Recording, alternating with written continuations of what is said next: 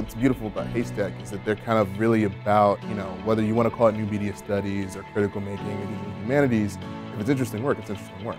As long as there's something fascinating about it, there's good critical thought being brought to the discussion process.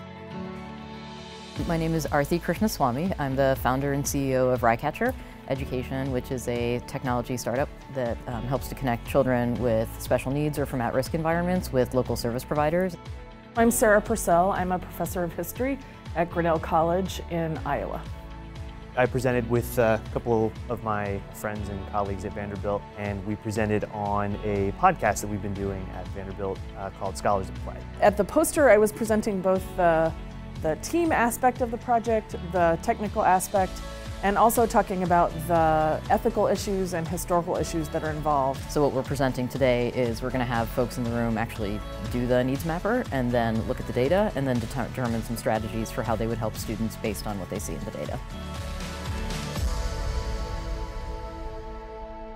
The first day, uh, I attended mostly games panels about video games, which was really interesting because games studies is kind of in this nascent stage, it's trying to develop itself. I've liked the format where we've gotten to have a lot of interactivity in the sessions and I've also appreciated the, the kind of um, speed sessions where there have been a number of people presenting on different projects. I love getting to talk to graduate students who are doing really cutting edge work. I teach in an undergraduate liberal arts college so it's nice to uh, get out and talk to grad students um, and see sort of what's the next thing that my undergrads can expect when they go to grad school.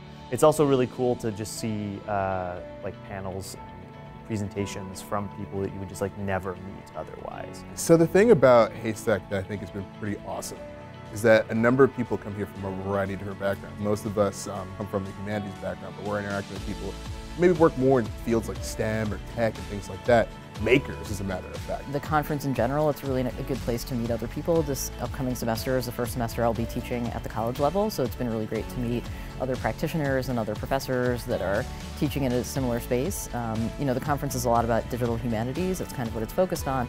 I've been impressed with the amount of people from UCF that are presenting here. You know, uh, I was kind of blown away by, to a bunch of the talks that I went to, how um, people at UCF were doing all kinds of different things. The weather's beautiful. It was 27 degrees earlier in the week in Iowa, so I'm enjoying the palm trees, that's for sure. It's a nice campus. Everyone's been very welcoming. Good things I can say about, uh, you know, this conference compared to other conferences is that the food is great. It's been like really organized, lots of people around to help us get around, so it's been a great, great experience.